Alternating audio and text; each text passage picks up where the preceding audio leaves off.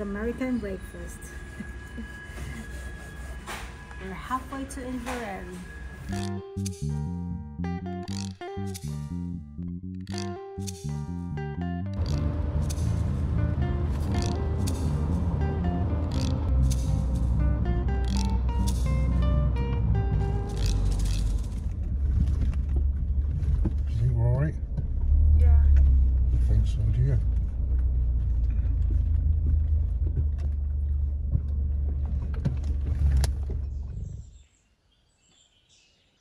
Come on, Pikey Mikey.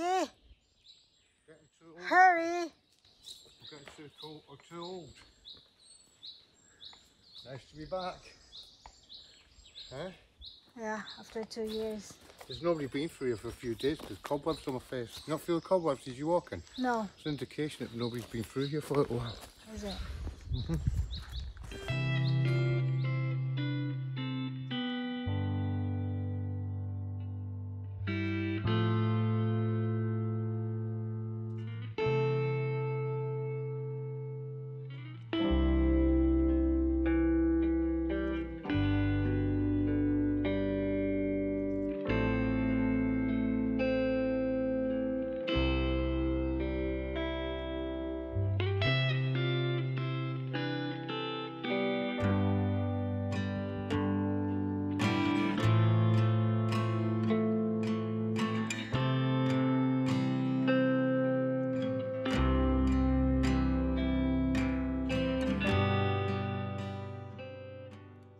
Ricky has just told me some amazing news. Tell tell the viewers, ready? In the past year and a half, I have had about 15 fishermen asking me where Mikey Mikey fishes. I, Pikey oh. Mikey fish is here. if you're looking for his fishing spot, come and speak to me.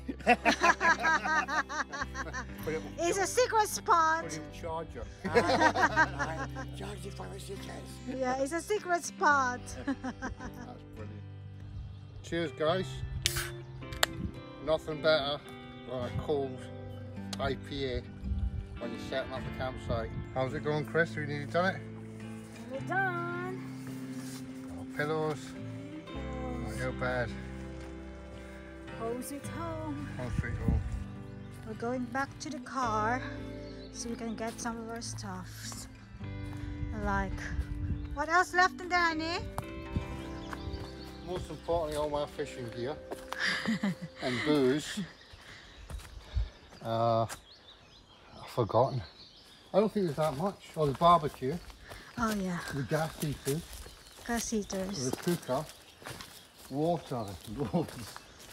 Yeah, we're getting our bottled water this time because somebody lost the uh, thingy. What do you call it?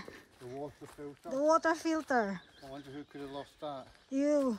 Oh, I always. Because you always look after your stuff, not me.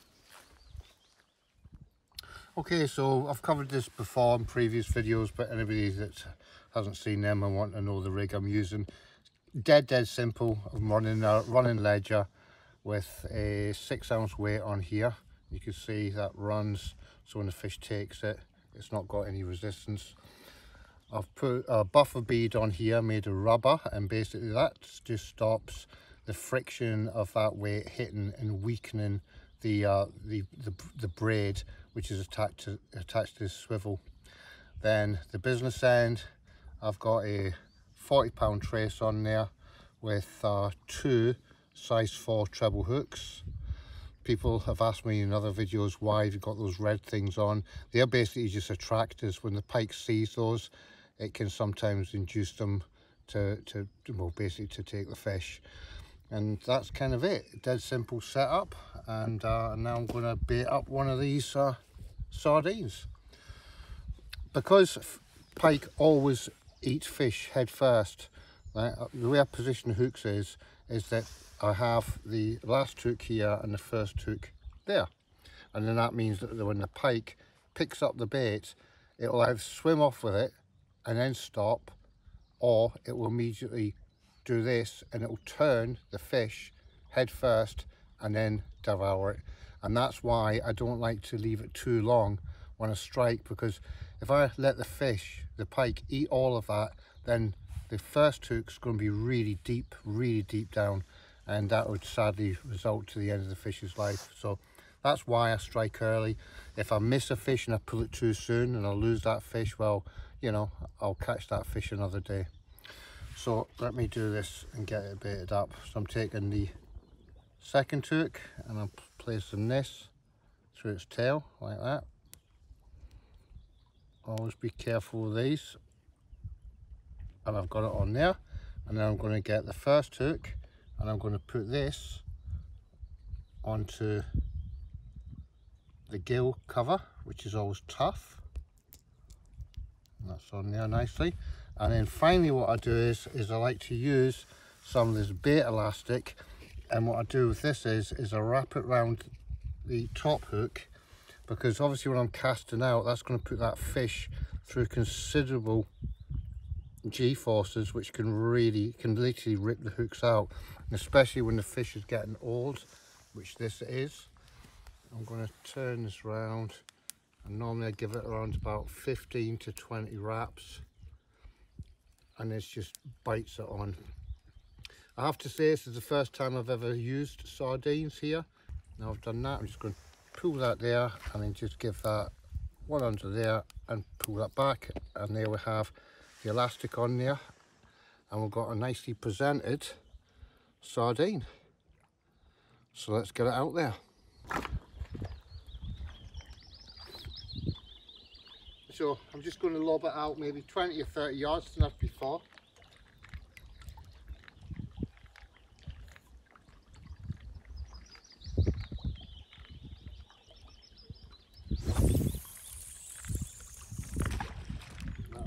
job nicely.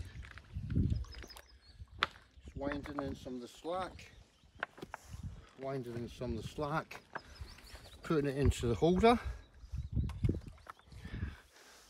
wind that slack in, and now what I'm going to do is I'm going to put the line through the bite indicator.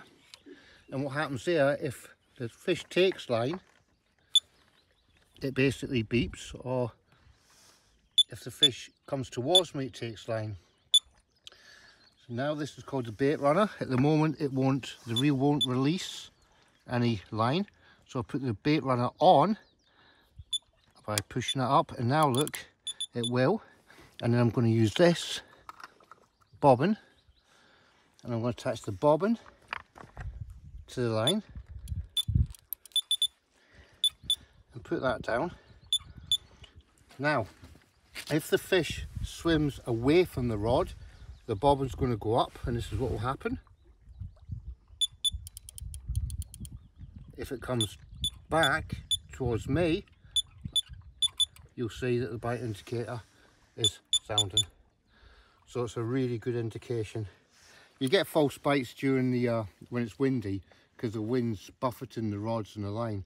But you can tell when it's a bite because when it's wind windy it's like in a rhythm you can just tell. And it's just like beep beep.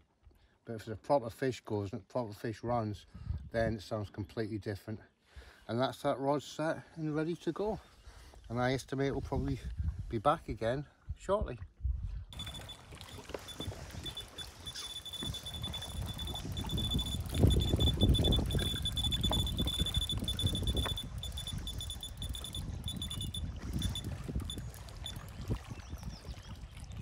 does it again, I'll strike. Here we go. You need to strike no honey. No, where? Is he gonna lose it? He's eating it now. He makes a couple more moves and I'm into it. There. It's moving now. It's not moving now.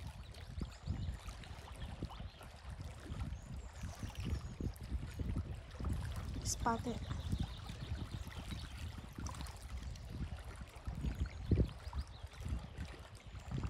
Why are you taking ages, honey? I, do, you not, do you not remember when I explained it to the viewers? Do you remember? You tell me, why, why, why am I leaving it? Because you don't want it to be like, oh, there you go. Now I'll take it. Now, he's got to be a meal. Oh, yes. Oh, yes. It's a barracuda.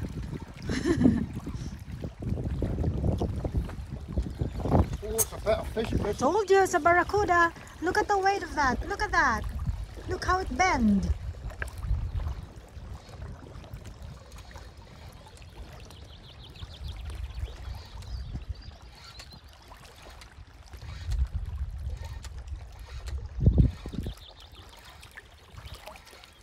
Look at that. Oh, it's massive now. No, no.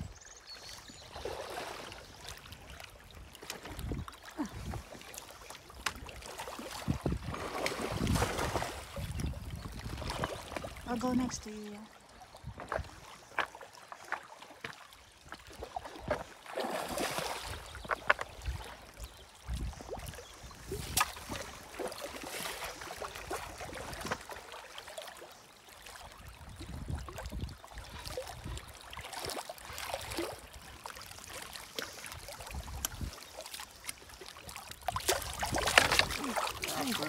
Lift it, lift it, that's it. I've got it, I've got it.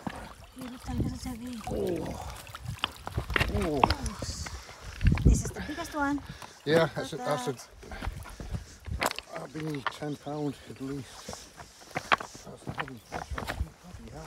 If you eat oh, food there.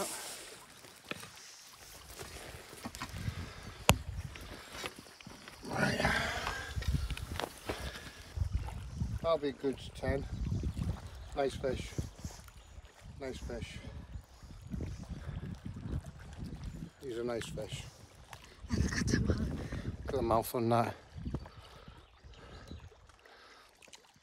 Okay.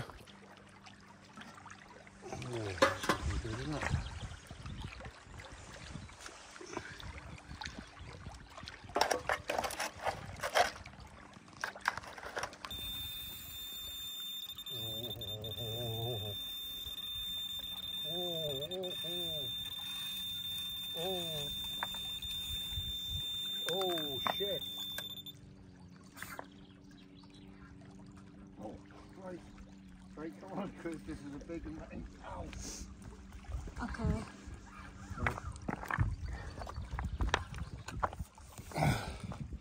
Got it? Yeah. Keep right up.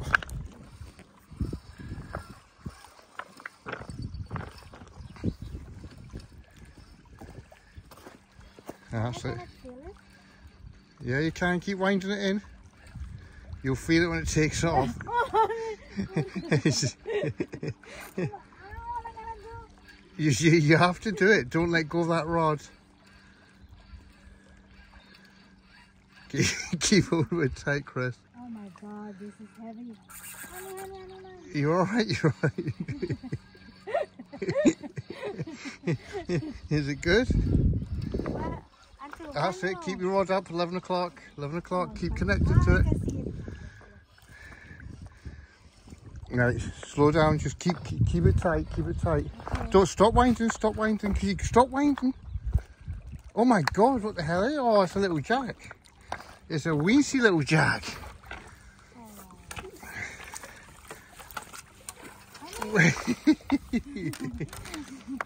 right, just keep it there. Don't wind it anymore because I've got to get the net netting.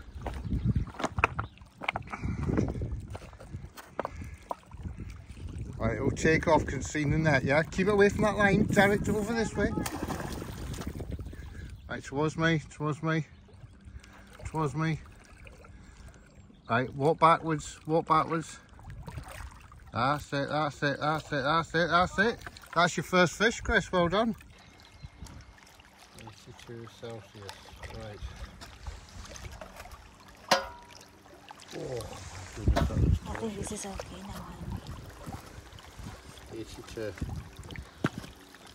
82. What's that? 79. 79. That, a little bit, another 15 10 minutes. minutes. Half of No, 10 minutes.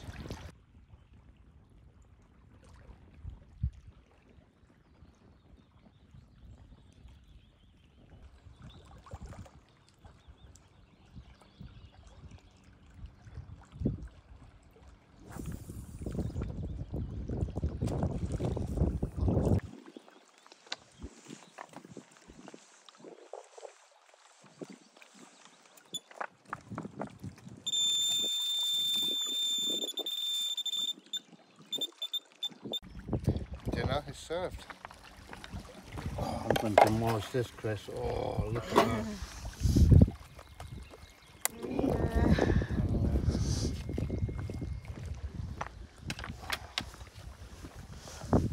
I would suggest you get some kitchen roll It's a good because that is going to be so juicy. I'm going to have the leg straight away. Okay.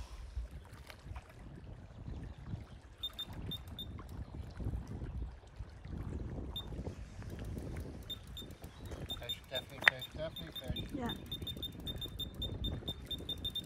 You ready? Yeah.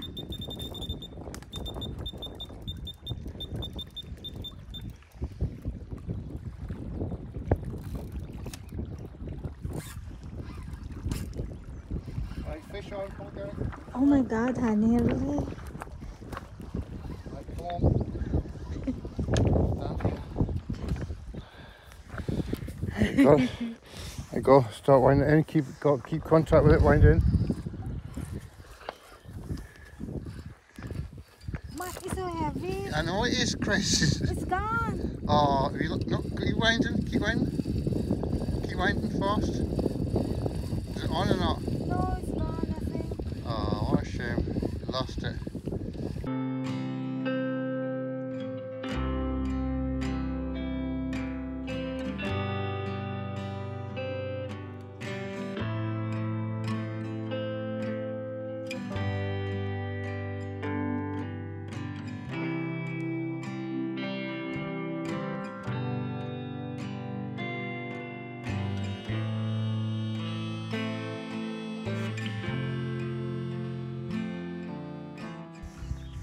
Hope you have insurance, honey, huh?